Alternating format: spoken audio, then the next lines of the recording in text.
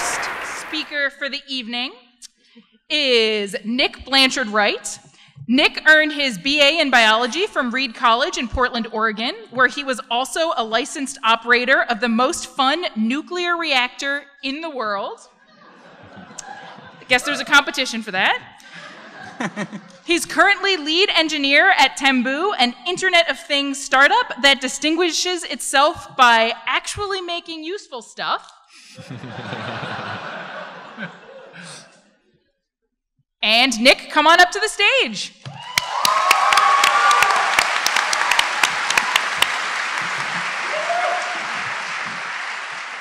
Thank you. Good evening.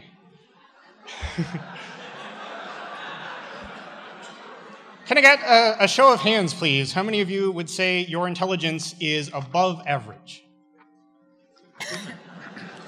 Don't be modest, this is for science. okay, interesting. Uh, how many of you have ever bit your own tongue or tripped over your own feet? Thank you. To explain this contradiction, I would like you to imagine that you are an early mammalian ancestor, and you engage in foraging and caching behavior. but you also indulge in the occasional stealing behavior. So if you see one of your conspecifics caching some food, you follow them and you dig it up and you eat it. And you grow fat and happy, and they starve to death. Aww. And being dead is anti correlated with reproductive success. So, the fitness advantage is yours. But then one day, you're following another poor sucker, and suddenly they trip over their own tail. And they drop the food and bite their own tail in retaliation, and shriek in pain and run away. and this doesn't really make a lot of sense, but it strikes you as bad. So you bail and you go steal from someone a little less crazy. but now Turn it around, look at it from the other side. Suppose you're the one who freaked out. You know there's no real danger. You know you're just an idiot. so, after you calm down a little, you go back and you retrieve your food. And suddenly, look what's happened. Thanks to your random incompetence, you've outsmarted the thief. you see, natural selection is very good at coming up with countermeasures to predictable behaviors. Uh, caching leads to stealing, stealing leads to decoys, but there's no countermeasure for senseless random inputs. we term these arbitrary, seemingly self defeating, utility masking behaviors.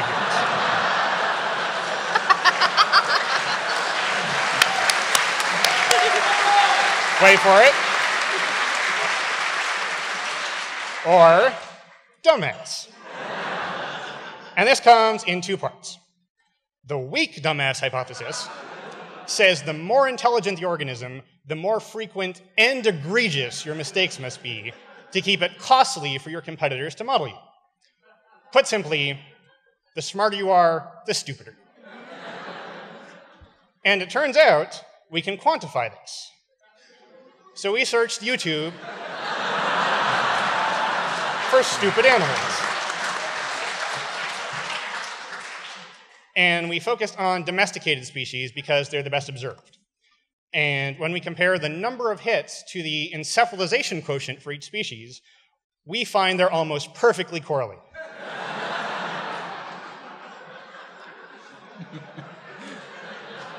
now, we wanted to include humans in this analysis, but they need to meet the domestication criteria.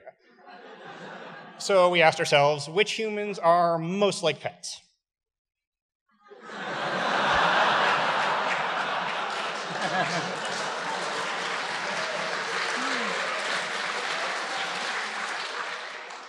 So, as you can see, dumbassery is strong across species. But what about within species? Well, here's a thought experiment. Let's assume it's true for humans that smarter individuals are stupider. What would a dumbass civilization look like? Well, we'd stereotype our geniuses as eccentric, absent minded, and prone to tragic accidents.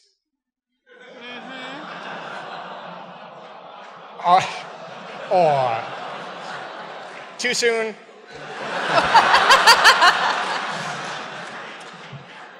Our most celebrated entertainers would be gifted buffoons. We'd have large, powerful cultural institutions founded on complete nonsense.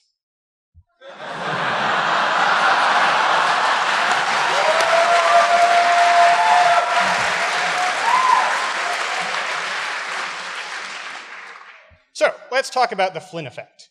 This is the steady, steady, globally reported rise in IQ over time. Dumbass theory predicts a concomitant increase in stupidity over time. And that is exactly what we found.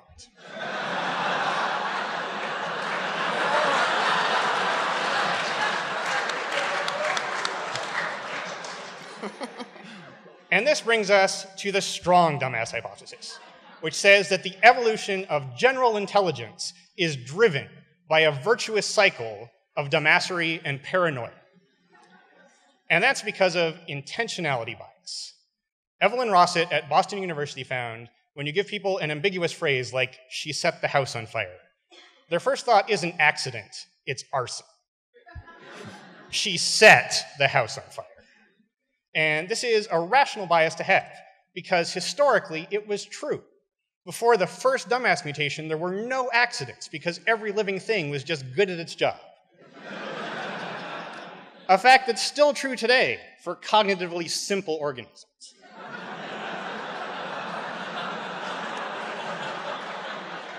but intelligent species make mistakes.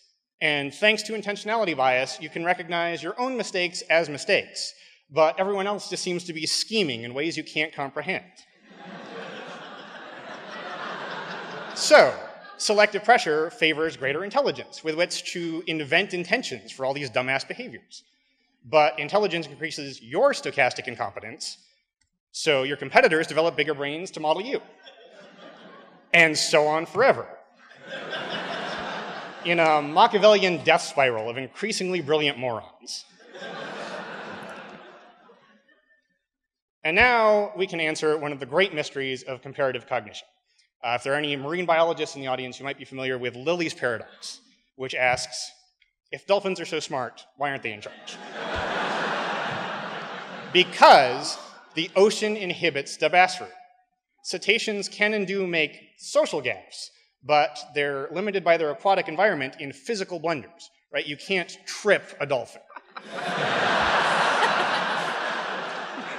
so, I propose to place a breeding group of dolphins in an environment full of painful but conspicuously avoidable obstacles.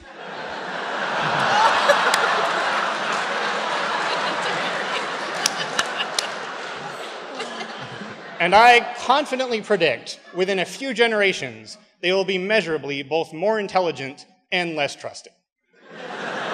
Thank you very much.